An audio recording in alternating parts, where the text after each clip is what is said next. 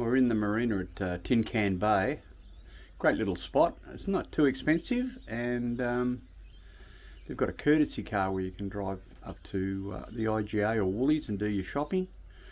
Uh, they've got marine electrics here, they've got a chandlery, they've got uh, boat detailing place. So uh, there's a few things that uh, could entice you in here. It's a little way up the creek to get up to Tin Can, but um, we've come up to see some old friends up here. Um, and we'll be here another day and then head up the Sandy Strait.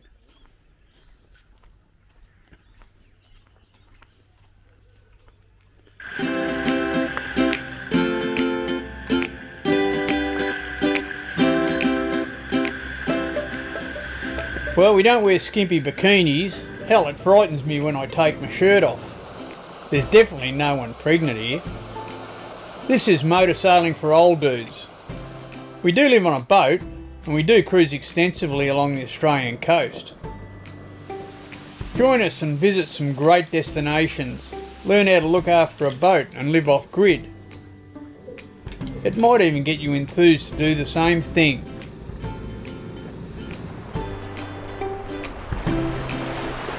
Hey, stay out there till you can't.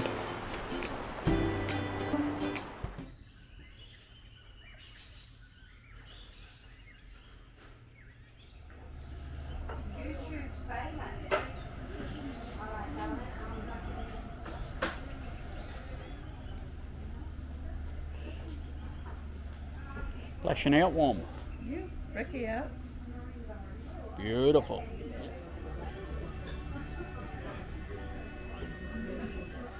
Well, this will be our last sunset uh, in Tin Can for this season. We've caught up with some good friends here. Uh, haven't seen them for a while, so we've caught up with them, did coffee with them this morning. Uh, we've given the boat a big spring clean. We've uh, clipped Ted. You're a good boy, Teddy. Getting a haircut, mate. Might have to line up myself.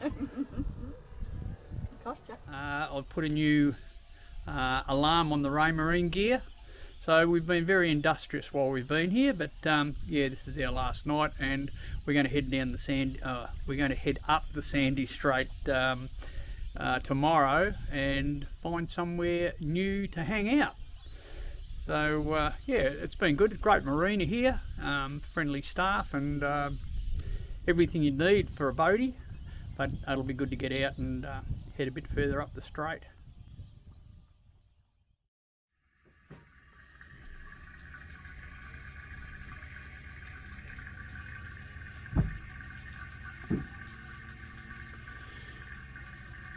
Just putting a bit of water on. Last thing, uh, well, second last thing, we'll go and get a bit of fuel over here. It's uh, not too expensive. I don't have to put much on, but I'll fill up while we're here. Got access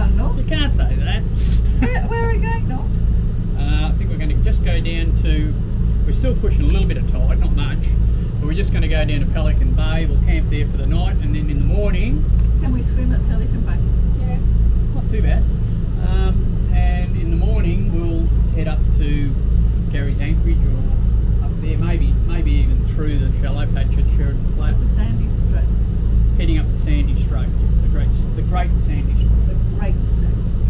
It's been great. It's in camp though. I think we had enough though. Be good to get out of here. Yeah. Boat's clean, full of fuel, full of water, Full of dog hair. full of dog hair. Yeah. Teddy's been clipped.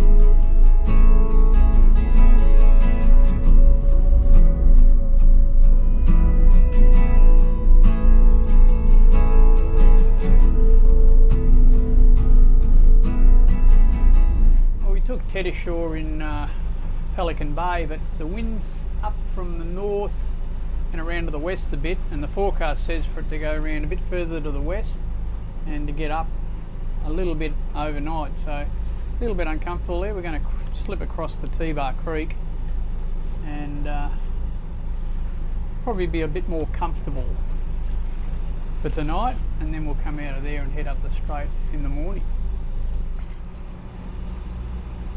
So we've just come across uh, to T-Bar Creek. Um, this is a pretty secluded little spot. Get you out of northerlies, anything from the north through to the south. Probably easterly the only thing that'll get in here. Um, but yeah, we've come over here thinking that we're going to get a better night's sleep um, in T-Bar. There's a little beach up around the corner here, I think, where we can take Ted, Ted ashore. Uh, quite shallow coming in though. We're about halfway through the tide and we were down to about 1.4 I think at one stage. So uh, you want to watch your navigation coming in any lower than that. I think this is a good move. I think uh, it's a lot nicer in here. There's not much wave action at all once we get in and there's a little beach up around the corner where we can get Pip ashore, uh, get Ted ashore.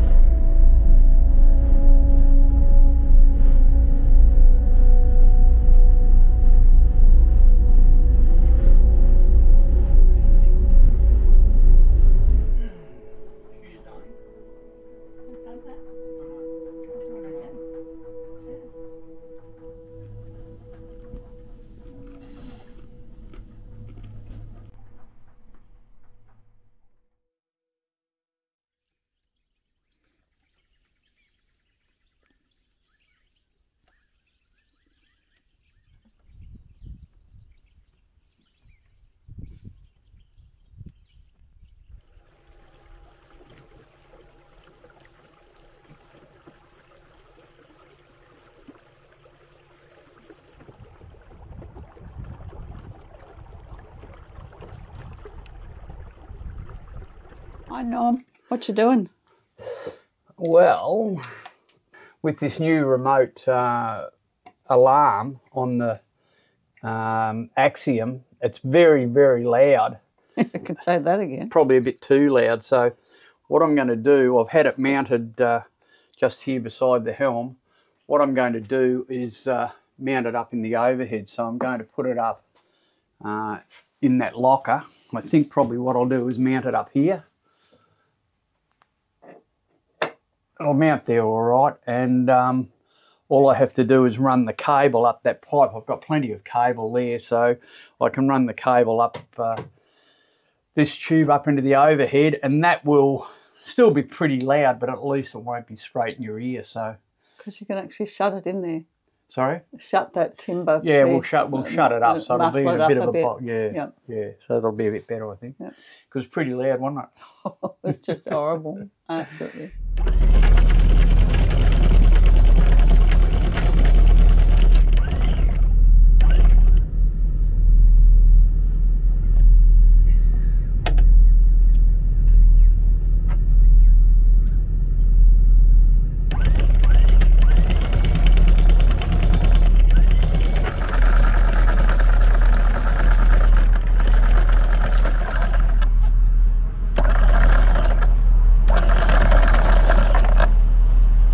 Bit muddy. Down a bit, I think.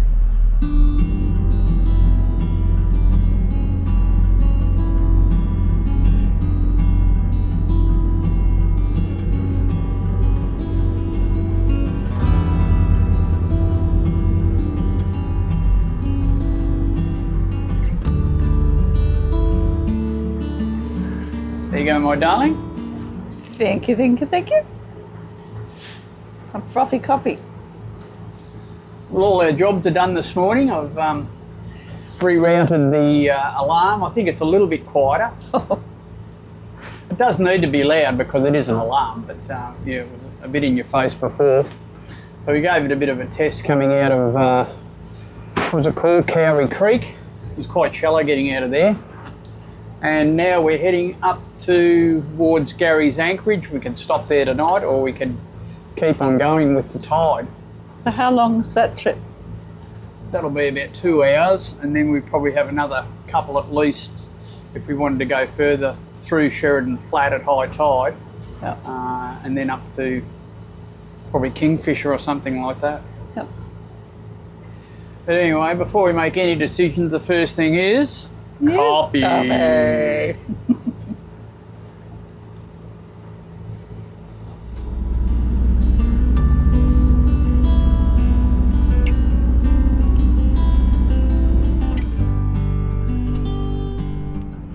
spectacular day it is now. Very foggy start this morning, but um, we're just about up to Sheridan Flat. This is the area in uh, the Sandy Strait where the tides meet. So the tide comes in from Inskip Point. We've been riding that tide up to here, and then uh, when we get to Sheridan Flat, it also flows in from Hervey Bay, and they meet at Sheridan Flat. So the tide's coming in from Inskip Point and in from Hervey Bay. And when they meet in the middle, when we reach high tide, they fall again from Sheridan Flat. So we're going to get here a little bit early, and the plan is we're going to drop anchor and have a bit of lunch. And then once we've done that, it'll allow a bit of time for the tide to reach capacity, and then it'll start flowing back out into Hervey Bay, and we'll ride that out. We've been averaging about six and a half knots the whole trip, so it's pretty good in still water without the sail. And um, uh, if we just have a bit of lunch up here and wait for it, we'll do six and a half knots all the way out into Hervey Bay. Fantastic. And it's a lovely trip, something to see all the time when the weather's like this. It's just brilliant. So um, very sheltered, uh, no swells. Quite a bit of shallow water around though, you just want to watch your navigation,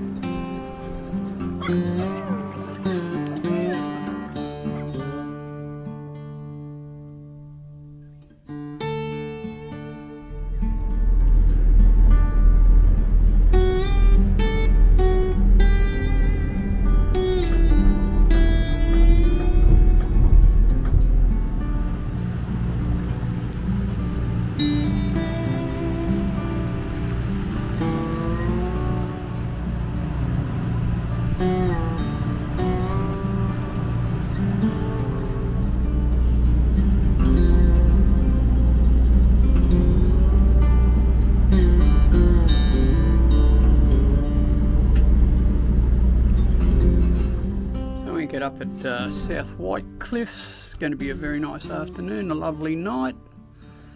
And Wombi has decided to torment the fish.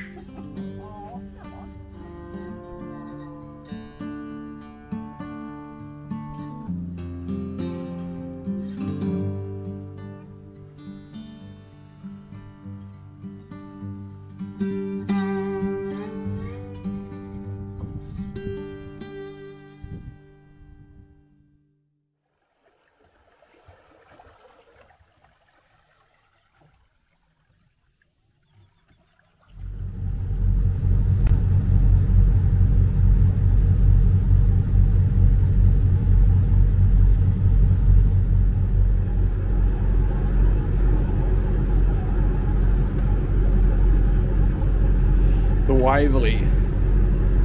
Always beautiful. What's cooking, Mom? Make some pancakes. Pancakes. Woo woo!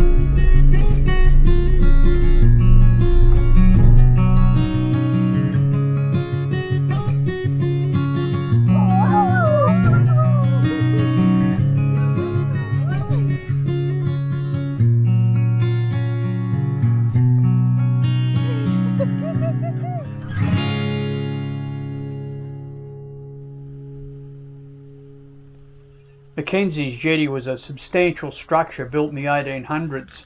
It was used to bring supplies to the sawmill and to export logs from Fraser Island. There's a interpretive board just behind the beach.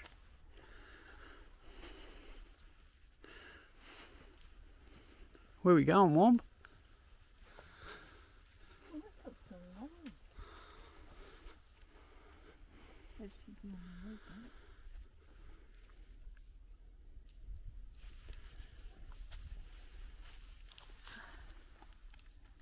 lucky dog Teddy, you've got a jacket on. You can come into the park. Just got to be careful of the dingoes. Keep your jacket on.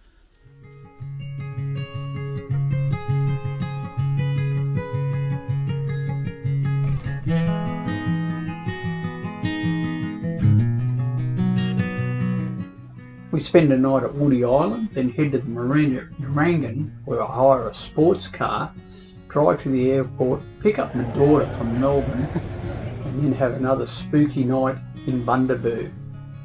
See you next week, dudes.